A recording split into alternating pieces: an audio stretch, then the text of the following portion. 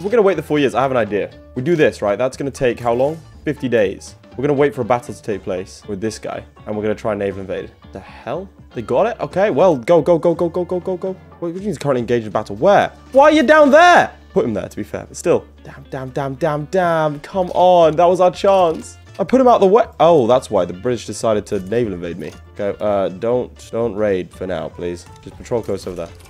Stay out of the way. Dude, I don't want you fighting in any naval battles. I can't tell them to not fight. That's the issue. They have to fight. I want to. I don't want them to fight the British Navy. They're not ready. Also, what are you doing? You're meant to be patrolling the coast of the Balkans. Go patrol the coast down here in Arabia. Stay away from the British. Let them turn up. It's fine.